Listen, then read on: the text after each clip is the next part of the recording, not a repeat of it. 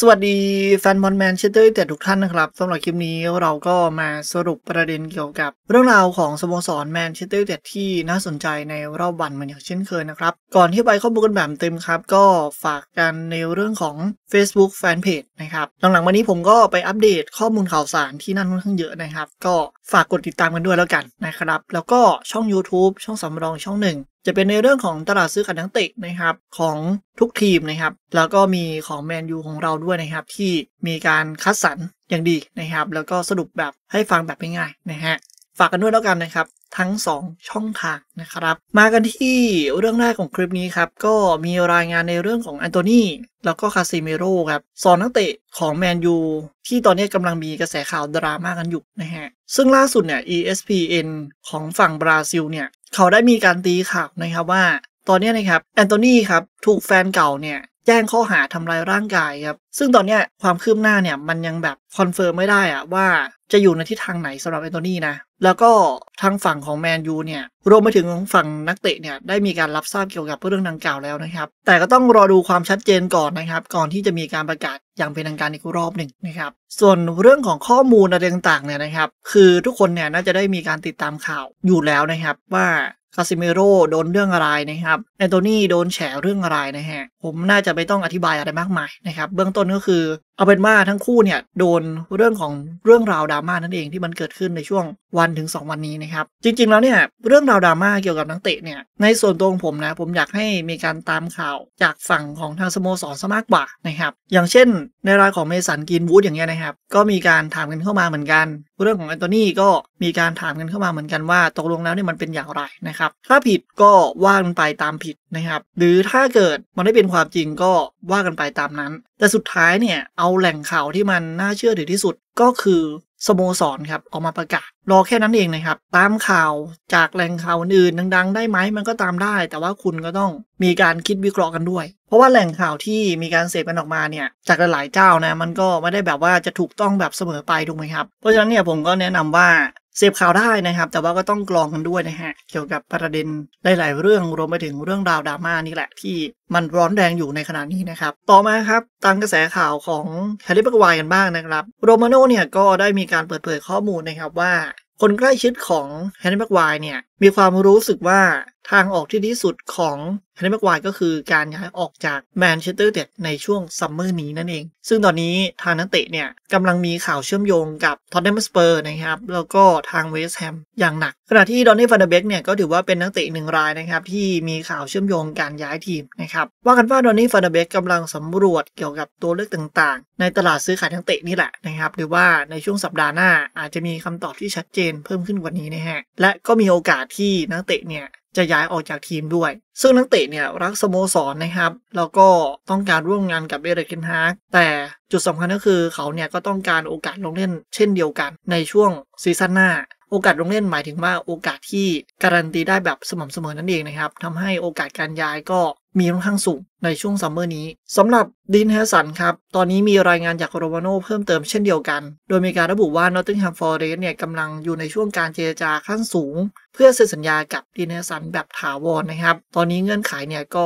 ใกล้ที่จะเสร็จสิ้นเรียบร้อยแล้วด้วยนะครับทำให้แมนยูเนี่ยนะครับก็จะมีข่าวเชื่อมโยงกับพวกแบบผู้รักษาประตูรายใหม่ อย่างเช่นเดวิดรายาของทางเบรนฟอร์ดเดียโก้คอสตาของทาง FC ปอร์โตนะครับแต่ก็ยังไม่ชัดเจนนะครับว่าแมนยูเนี่ยจะมีงบประมาณหลงเหลือในการไปยื่นซื้อผู้รักษาประตูรายใหม่หรือเปล่าเนื่องจากว่าแค่อันดับแรก ๆ ที่แมนยูต้องการก็คือตำแหน่งกองกลางแล้วก็กองหน้าเนี่ย มันใช้งบประมาณค่อนข้างสูงมากๆนะครับอนาคตของดาบิดเดเคอาเองก็ยังไม่ชัดเจนด้วยนะฮะก็ไม่ใช่เรื่องแปลกที่จะมีการมองหาผู้รักษาประตูรายใหม่สำหรับคิมมินแจครับ ตามข้อมูลจากอัลเฟรโดเปดุลลาครับมีการระบุออกมาครับว่าคิมมินแจจะมีการพูดคุยกับแมนเชสเตอร์ยูไนเต็ดอีกครั้งหนึ่ง ในช่วง ไม่กี่วันข้างหน้านี้ครับ อาจจะเป็นในช่วงสัปดาห์หน้า ซึ่งนักเตะเนี่ยมีโอกาสย้ายมาร่วมทีมแมนเชสเตอร์ยูไนเต็ดในช่วงซัมเมอร์นี้สูงมากๆ ตามรายงานจากสื่อท้องถิ่นอย่างอิลมัตติโนครับมีการระบุว่าตอนนี้คิมมินแจเนี่ยก็เริ่มมีการเก็บข้าวของภายในบ้านเป็นที่เรียบร้อยครับเพื่อเตรียมตัวเนี่ยย้ายไปร่วมทีมแมนเชสเตอร์ยูไนเต็ดนั่นเองนะ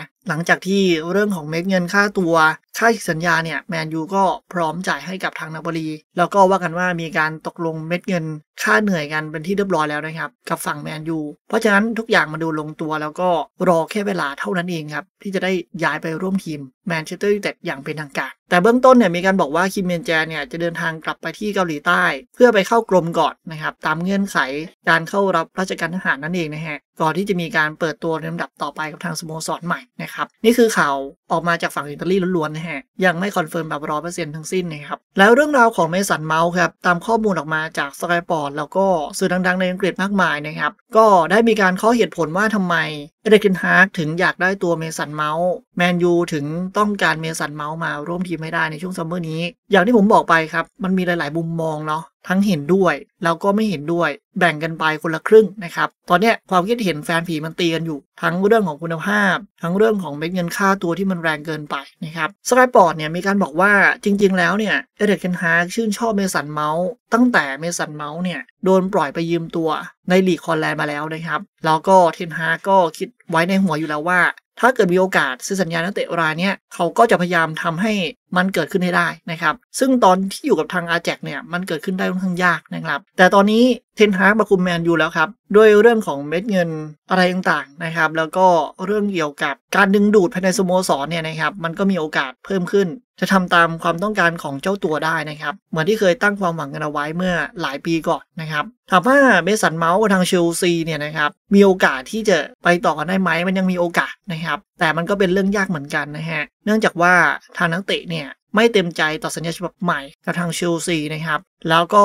สัญญาเนี่ยเหลืออีกเพียงแค่ 1 ปีเท่านั้น ซึ่งเชลซีเนี่ยก็ทราบดีครับว่าถ้าเกิดไม่ปล่อยเมสันเมาท์ในช่วงซัมเมอร์นี้ซัมเมอร์ปีหน้ามีโอกาสเสียไปแบบฟรีๆแน่นอนนะครับ เพราะฉะนั้นโอกาสย้ายเนี่ยมันสูงมากซึ่งในนี้ครับสาเหตุสำคัญที่ทำไมแมนยูอยากได้เมสันเมาท์ในช่วงซัมเมอร์ที่ผ่านมาครับแมนยูมีการเซ็นคาเซมิโร่มา ในราคาประมาณ 60-70 ล้านปอนด์แล้วก็มีคริสเตียนเอริกเซ่นเซ็นเข้ามาแบบฟรีๆนะครับซึ่งทั้งคู่รวมไปถึงบรูโน่เนี่ย สามารถลงเล่นเป็นตัวจริง แล้วก็ยกระดับแมนยูในพื้นที่แดนกลางได้อย่างชัดเจนนะครับ ลงตัวเลยแหละ พูดกันแบบตามตรงนะฮะ แต่ถ้าเกิดเรามาดู list รายชื่ออื่นๆครับ อย่างเช่นแม็คโทมิเนย์เฟร็ดดอนนี่ฟานเดอเบคเนี่ยทั้ง 3 รายที่เป็นตัว backup เนี่ยนะครับถือว่าคุณภาพเนี่ยมันไม่ได้แบบใกล้เคียงกับตัวจริงเลย มีคุณภาพที่แตกต่างกันอย่างชัดเจนนะครับ ตัวจริงเนี่ย perfect ตัวสำรองเนี่ย ถือว่าเกรดค่อนข้างอยู่ในทิศทางที่ไม่ดีเอาเสียเลยนะครับ แถมทั้งเราจะได้เห็นว่าในช่วงครึ่งซีซั่นที่ผ่านมาเนี่ยนะครับ นักเตะหลายๆคนเนี่ย โดยนับในเรื่องของตัวจริงก็คือคาเซมิโร่ เอริคเซ่นแล้วก็บรูโน่เนี่ย โอเค ได้ลงสนามพร้อมกันก็จริง แต่สิ่งที่มันมีปัญหาก็คือเรื่องของสภาพร่างกายครับ ความฟิตเนี่ยเริ่มมีปัญหา เพราะว่าโปรแกรมเนี่ยมันเตะติดต่อกันค่อนข้างเยอะนะครับ และในเรื่องของวัยของเอริคเซ่นที่อายุเริ่มมาก ความฟิตเนี่ยเราทราบกันดีว่าเอริคเซ่นเนี่ยความฟิตเนี่ยไม่ร้อยเปอร์เซ็นต์อยู่แล้ว เขามีปัญหาเกี่ยวกับเรื่องของสุขภาพคาเซมิโร่อายุเริ่มมากนะครับ มันก็เลยทำให้ในช่วงครึ่งซีซั่นจนคาบเกี่ยวในช่วงท้ายซีซั่นเนี่ยเราจะมีปัญหาในจุดๆนี้ครับก็คือเรื่องของพลังงาน เรื่องของความฟิตอย่างชัดเจน แล้วก็รวมไปถึงขุมกำลังภาพรวม ในพื้นที่แดนกลางที่มันยังไม่ลึกมากพอถามว่ามันมีตัวเลือกไหมมันมีแหละ แต่อย่างที่บอกไปก็คือคุณภาพที่จะเข้ามาทดแทนตัวจริงเนี่ยมันยังไม่ดีไงโดยเฉพาะในรายของเอเด็กเซนเนี่ยนะฮะชัดเจนครับเรื่องของสภาพร่างกายในช่วงครึ่งซีซั่นที่ผ่านมาเนี่ยนะฮะหาเกมที่เอเด็กเซนลงเล่น ครบ 90 นาทีเนี่ยค่อนข้างยากมากๆนะครับ มีน้อยมากๆนะ เพราะฉะนั้นนี่คือจุดสำคัญนะที่มันมีปัญหานะครับ แล้วก็เป็นเหตุผลที่ทำไมเนี่ยเราต้องการเมสันเมาส์เข้ามานะครับ การมาของเมสันเมาส์เนี่ยมันจะช่วยในเรื่องของการแก้ปัญหาเรื่องของคุณภาพ หรือว่าส่งเสริมคุณภาพให้พื้นที่แดนกลางมันดูดียิ่งขึ้น แล้วก็ช่วยในเรื่องของตัวเลือกในพื้นที่แดนกลางให้มันมีเยอะขึ้น เมสันเมาท์เนี่ยถือว่าเป็นนักเตะที่ผู้จัดการทีมเนี่ยสามารถไว้วางใจได้อย่างแน่นอนนะครับโทมัสทูเคิลครับเคยให้สัมภาษณ์ว่าเมสันเมาท์เป็นนักเตะที่มีทัศนคติที่ยอดเยี่ยมมากนะครับเขาเนี่ยมองโลกในแง่บวกโดยเสมอนะครับ มีพลังงานแบบล้นเหลือ อย่างเช่นมีบางเกมที่เกมนั้นเนี่ย ภาพรวมเนี่ยมันไม่ค่อยดีสักเท่าไหร่นะครับ แต่ว่าเมสันเมาท์เนี่ยมองโลกในแง่ดีว่าเฮ้ยทุกคนเนี่ยต้องกลับมาให้ได้ ทีมต้องชนะ ทีมต้องพลิกเกมอะไรนู่นนี่นั่นนะครับนี่คือวิธีการเล่นที่ยอดเยี่ยมมากสำหรับเมสันเมาท์นะครับหรือว่าแนวคิด mindset อะไรต่างทัศนคติเนี่ยถือว่ายอดเยี่ยมมากคำชมจากโทมัสทูเคิลนะครับซึ่งเป็นอดีตผู้จัดการทีมของทางเชลซีนี่แหละเคยให้สัมภาษณ์มา นอกเหนือจากนั้นครับสิ่งที่น่าสนใจของเมสันเมาท์ก็คือ การเพิ่มโอกาสการทำประตูแล้วก็การแอสซิสต์ครับ ซึ่งในช่วงซีซั่นนี้แมนยูเนี่ยมีปัญหาอย่างชัดเจนเกี่ยวกับการทำประตู ในพื้นที่แดนหน้านะครับกองหน้าของแมนยูเนี่ยกดสกอร์ได้ค่อนข้างน้อยครับ หรือว่าผู้เล่นแนวรุกนั่นเอง และรวมไปถึงนักเตะอีกหลายคนครับที่ไม่สามารถแบ่งเบาภาระในเรื่องการจบสกอร์ได้เลยนะครับ เมื่อเปรียบเทียบกับทีมอื่นอย่างเช่นซิตี้อย่างเงี้ยเขาสามารถทำประตูได้แบบหลาย ๆ ตำแหน่งกุนโดกันก็ขึ้นมาทำประตูได้ เควินเดอบรอยน์ก็ยิงได้ ด้านข้างก็ยิงได้ เบร์นาโดซิลวา ฮาแลนด์นี้ก็นำอยู่แล้วนะฮะ แต่สิ่งที่ผมพยายามอธิบายถึงเนี่ยก็คือ มันมีความหลากหลายในการจบสกอร์ไง แต่แมนยูเนี่ยพึ่งแต่กองหน้า แล้วก็กองหน้าเนี่ยมันกดสกอร์แบบไม่ต่อเนื่อง การมาของเมสันเมาท์เนี่ยจากสถิติในช่วงฟอร์มที่ยอดเยี่ยมของเจ้าตัวก็คือ ปี 2021 จนถึง 22 เนี่ย เขามีสถิติเกี่ยวกับการแอสซิสต์แล้วก็การทำประตูที่โดดเด่นพอสมควร เขาทำไป 11 ประตูนะครับ เมสันเมาท์เนี่ยอยู่ rank อันดับหนึ่งนะครับในการทำประตูนะครับ แล้วก็รวมไปถึงเมสันเมาท์อยู่ rank อันดับที่ 2ในสถิติเรื่องของความน่าจะเป็นของการได้ประตูนั่นเองนะครับ อยู่ที่ 8.8 แล้วก็แอสซิสต์ 10 ครั้งอยู่อันดับที่ 1 นะครับสัมผัสบอลในกรอบเนี่ยนะฮะ 145 อยู่อันดับที่ 1 นะครับ แล้วก็มีการผ่านบอลสำเร็จเนี่ย 912 ครั้งอยู่ที่อันดับที่ 10 ด้วยกัน นี่คือซีซั่นที่ perfect ของเจ้าตัวนะ ไม่ใช่ซีซั่นล่าสุดนะฮะ ย้อนกลับไปก่อนนะครับ มันก็เลยเป็นสถิติที่แสดงเห็นอย่างชัดเจนว่าถ้าเกิดเมสันเมาท์อยู่ในฟอร์มที่ยอดเยี่ยมเนี่ยเขาก็ช่วยในเรื่องของการเล่นเกมรุก การแอสซิสต์การทำประตูได้เหมือนกันนะฮะ ซึ่งจะว่าไปแล้วครับ ตลอด 3 ฤดูกาลแรกของเมสันเมาท์ทางเชลซีเนี่ยไม่นับรวมฤดูกาลล่าสุดเมสันเมาท์เนี่ยมีส่วนร่วมถึง 44 ประตูจาก 105 นัดในพรีเมียร์อังกฤษครับมิดฟิลด์ที่ดูเหนือกว่าเมสันเมาท์เนี่ยก็มีเควินเดอบรอยน์ของทางซิตี้ 74 ประตูด้วยกัน แล้วก็บรูโน่ของแมนยูเรามี 61 ประตูด้วยกันนะครับก็ถือว่าเยอะพอสมควรนะ 44ประตูจาก 105 นัดเนี่ยนะฮะ การมีส่วนร่วมนะ เกี่ยวกับการทำประตูนะครับ ส่วนรูปแบบการเล่นเนี่ยนะครับ ดูเหมือนว่าเอเดกเกนฮาร์กเนี่ยมองว่าการดึงเมสันเมาท์เข้ามาเนี่ย ก็จะเอามาเล่นในตำแหน่งพื้นที่กองกลางตัวกลางนะครับ ให้คิดกันง่ายๆก็คือตำแหน่งของเอริคเซ่นแล้วก็อาจจะขยับขึ้นไปเป็นตำแหน่งของบรูโน่แฟร์นันเดสนะครับ โดยมีคาเซมิโร่เนี่ยเป็นตัวคอยหนุนหลังเพียงแค่ตัวเดียวก็คือมิดฟิลด์ตัวรับนั่นเอง แต่จริงๆแล้วเนี่ยทางเมสันเมาท์สามารถเล่นสูงได้ครับ เล่นเป็นตัวรุกได้เลยก็มีเหมือนกัน ในยุคของโทมัสทูเคิลเนี่ยเขาก็เล่นเป็นตัวด้านกว้างได้เหมือนกัน ปีกทั้งสองข้างอะไรประมาณนั้นครับ แล้วก็ถ้าเกิดยืนในตำแหน่งของบรูโน่มันก็มีความคล้ายคลึงได้เหมือนกันนะ ตำแหน่งเนี่ยจะคล้ายๆกันบรูโน่เราจะได้เห็นว่าบางเกมเนี่ยนะครับเล่นเป็นด้านข้างไปเลย ที่เอริคเทนฮากจัดตำแหน่งไหนก็คือเป็นตัวริมเส้นฝั่งขวาฝั่งซ้ายไปเลยก็มีเหมือนกัน หรือบางเกมอยู่หลังกองหน้า แต่ ก็มีการยืดหยุ่นไป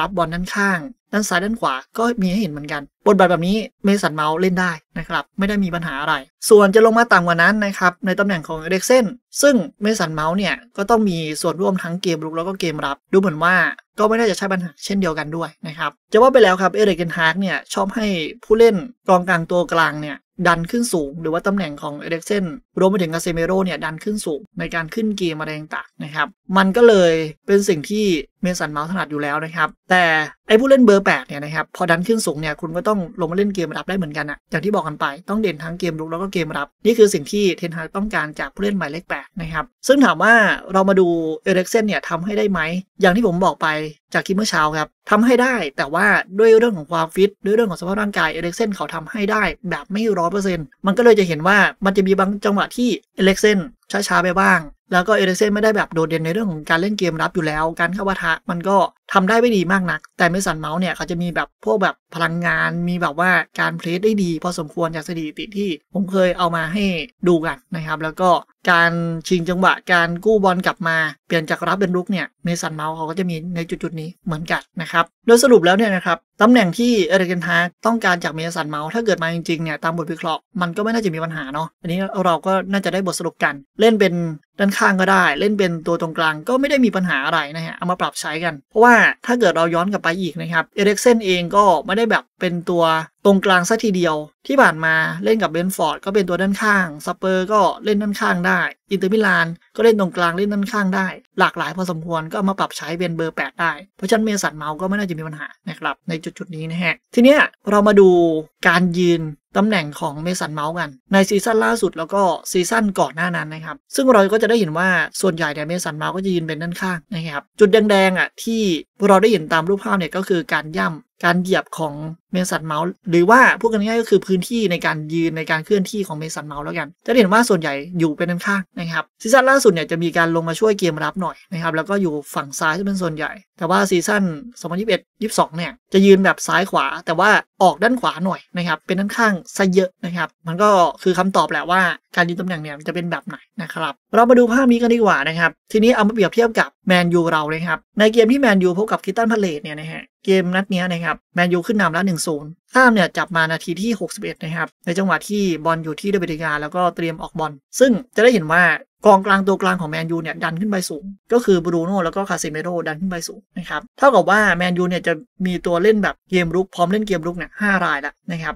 ซึ่งย้อนกลับไปในเรื่องของคำพูดที่มีการคอมเมนต์ออกมานะครับว่าเอริกเทนฮากเนี่ยชอบให้ผู้เล่นหมายเลข8หรือว่าผู้เล่นแบบกองกลางตัวกลางเนี่ยดันขึ้นไปสูงในยามเล่นแบบการเล่นเกมรุกแล้วกันนะครับซึ่งภาพเนี่ยมันก็ชัดเจนว่าเอริกเทนฮากทำแบบนั้นจริงๆนะมันเป็นภาพแบบยืนยันแล้วกันนะครับว่าในเวลาแบบตั้งเกมเซตเกมขึ้นไปเนี่ยจะดันขึ้นไปนะครับแล้วก็อีกภาพหนึ่งก็คือจังหวะที่ได้บอลละนะฮะมาร์ติเนซก็พยายามหาตัวจ่ายแล้วก็เห็นไหมครับบรูโน่กับคาเซมิโรเนี่ยวิ่งในแนวเดียวกันกับทางแรดฟอร์ดเลยนะครับหรือว่าตัวศูนย์หน้านั่นเอง เพื่อที่จะ เข้าไปในพื้นที่สุดท้ายนะครับ ดันขึ้นไป ดันขึ้นไปให้มากที่สุด มีส่วนร่วมเกี่ยวกับเกมรุกแล้วแหละ ทั้งๆที่เป็นผู้เล่นแบบมิดฟิลด์ตัวกลางตัวต่ำนะ แต่ว่าในยามที่คุณมีโอกาสคุณต้องดันขึ้นไป แล้วก็จังหวะนี้ครับคาเซมิโร่ก็ไปอยู่ใกล้ ๆ แบบกรอบเขตโทษเลยครับ เพื่อร่วมเล่นเกี่ยวกับเกมรุกเพิ่มขึ้น มีการทำชิ่งกับเพื่อนร่วมทีมนะครับ ซึ่งมันเป็นจังหวะที่ก่อนที่แมนยูจะได้ประตูนี่แหละนะฮะก็มีการจ่ายบอลกัน ทำชิ่งกันนะครับ ก่อนที่จะเป็นประตูมันเกิดขึ้นจากมาร์คัสแรชฟอร์ดนั่นเองนะครับ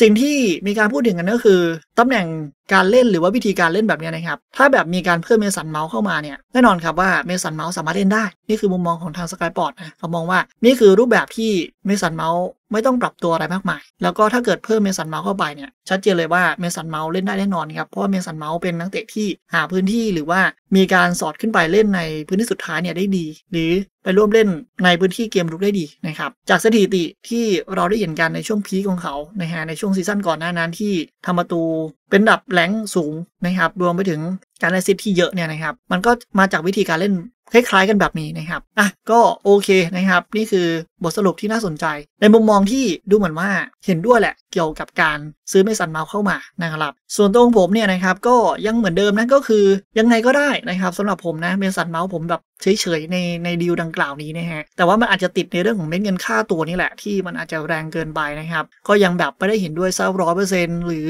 ไม่เห็นด้วยซะร้อยเปอร์เซ็นต์นะครับ ผมก็พยายามมองในมุมมองที่ว่า ถ้าเกิดเอเดกเทนฮากต้องการจริงๆเนี่ย เทนฮาต้องเห็นอะไรในตัวเมสันเมาส์แล้วก็ดูวิธีการใช้งานอยู่แล้ว ผมก็มองว่าไว้ใจเทนฮาแล้วกันเพราะว่าในช่วง 2 ตลาดที่ผ่านมาเนี่ยในการดึงตัวกันเข้ามาเนี่ยของนักเตะรายใหม่เนี่ยเขาก็ทำได้ดีในเกณฑ์ที่สอบผ่านเลยนะครับ เพราะฉะนั้นในครั้งนี้มันอาจจะขัดขัดหน่อย กับสิ่งที่เรามีการแสดงความคิดเห็นกัน แต่ผมก็ไว้ใจเทนฮากเหมือนเดิมนะครับการผีคิดเห็นอย่างไรครับก็คอมเมนต์กันเข้ามาได้สำหรับคลิปนี้ลากันไปก่อนใครชอบก็ฝากกดไลค์กดแชร์กดติดตามกันด้วยแล้วกันนะครับขอบคุณมากครับ แล้วเจอกันคลิปหน้านะครับ